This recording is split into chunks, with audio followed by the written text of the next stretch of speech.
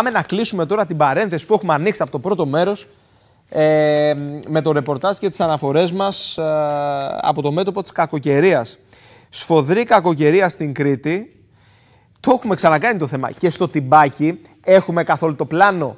Αν το έχουμε το πλάνο λίγο, ε, Θεοδώρα, για να πάμε στον καλεσμένο μας, και στο τυμπάκι άλλος κόσμος η αλήθεια είναι. Η ηλιοφάνεια δεν σημειώθηκε. Αυτό ακριβώς είναι. Λοιπόν, εδώ τυμπάκι, παραλιακό μέτωπο, παραλία, στον κόκκινο πύργο. Στον κόκκινο πύργο, για να γίνω ακριβής και συγκεκριμένος. Ηλιοφάνεια δεν είχαμε σε σχέση με προηγούμενες κακοκαιρίες, αλλά ένας ταραλέο, χειμερινός κολυμβητής, ανεξιάτικος κολυμβητής, έριχνε τη βουτιά του.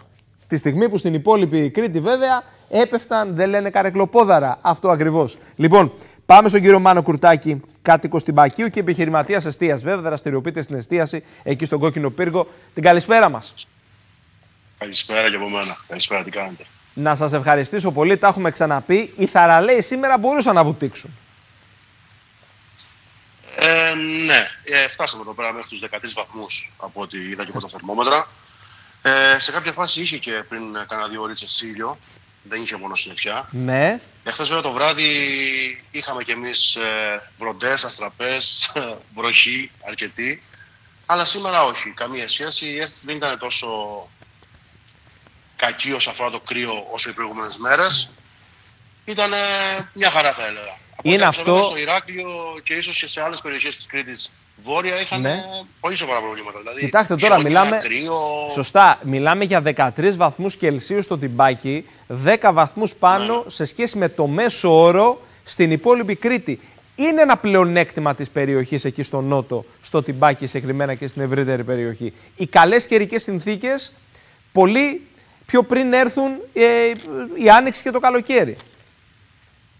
Σίγουρα. Α, από την άλλη όμως, ε, μην ξεχνάμε ότι και εδώ πέρα όταν γυρίσει η Βορειαδάκη, επειδή είναι τα χιόνια εδώ πέρα από πάνω, δεν είναι και τόσο Εντάξει, καλή η αίσθηση του κρύου. Δηλαδή είναι λίγο άσχημα τα πράγματα, αλλά όχι σε σχέση με αυτά που επικρατούν ε, στην υπόλοιπη Κρήτη από χθες τουλάχιστον ναι. και σήμερα, όχι, όχι, καμία σχέση. Για πείτε μας τώρα, συνδεθήκαμε για τον καιρό, μεταφέρουμε αυτή την εικόνα, την ανοιξιάτικη κατά κάποιο τρόπο και τη δια... τροποποιημένη και διαφορετική σε σχέση με την υπόλοιπη Κρήτη, αλλά μπαίνουμε σε μία ροή και περιμένουμε τουρίστες περί, τις, περί τα μέσα του Απρίλη ετοιμάζεστε στο τυμπάκι, ανοίγουν επιχειρήσεις; Ναι, σιγά σιγά θεωρώ ότι όλη η παραλία θα είναι ανοιχτά τα μαγαζιά. Τα πιο πολλά είναι βασικά και όλο το χειμώνα. Ναι. Δεν ξέρω αν είναι γνωστό αυτό, αλλά σχεδόν όλο το χειμώνα λόγω και των καιρικών συνθηκών, όπως είπαμε και πριν στο προηγούμενο θέμα, είναι ανοιχτά και τα μαγαζιά της παραλίας, γιατί έρχεται ο κόσμος.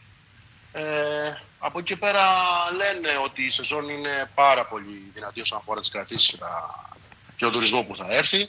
Από την άλλη, βέβαια, όταν παραλαμβάνεις πρώτες ύλες με άλλες τιμές τη Δευτέρα. Σωστά. Σωστά. Αυτό είναι το μεγαλύτερο πρόβλημα. Αυτός κι αν είναι πονοκέφαλος. Πού θα φτάσει αυτό. Δηλαδή, έχουμε φτάσει και λέμε στους χοντρεμπόρους, μήπως να μας φέρετε καλύτερα ντίζελ αντί για ηλιέλαιο. Είναι πολύ πιο φθηνό το πετρέλαιο από το ηλιέλαιο. Δηλαδή. Μάλιστα. Ε, δεν ξέρουμε καθόλου πού θα φτάσει αυτό το πράγμα.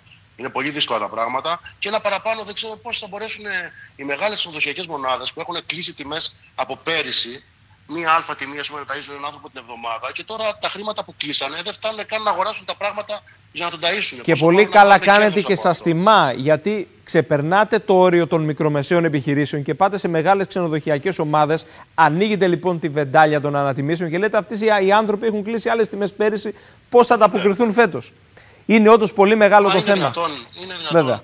Ναι, βέβαια, πάρα πολύ μεγάλο και θα πρέπει, ε, θεωρώ, η κυβέρνηση να βάλει ειδική ασφαλείας όσον αφορά τις αυξήσεις. Δηλαδή να φτάσουν μέχρι ένα όριο. Δεν είναι, δεν είναι λογικά πράγματα αυτά. Μάλιστα, μάλιστα. Δεν θα μπορεί ο κόσμος, δηλαδή από τη μία λέγαμε να φύγουμε από τον COVID, να λένε από 17 Απριλίου, δεν ξέρω κατά πόσο ισχύει αυτό, έχω ακούσει. Έχουμε χαλάρωση των μέτρων και απ' την άλλη έχουμε τώρα τις ανατιμήσει ναι, και την ακρίβεια. Και από την άλλη, ναι, πού να πάμε. Κύριε Κουρτάκη, τους χαιρετισμούς μας. Να είστε καλά, καλή σεζόν, ευχόμαστε.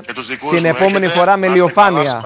Ούτε καν συννεφιά. Να είστε καλά. Ε, θε, θεωρώ ότι από εδώ και πέρα θα είναι όπως τα λέμε. Θα είναι όπως τα λέμε. Λοιπόν, να είστε καλά. Γεια σας. Γεια σας.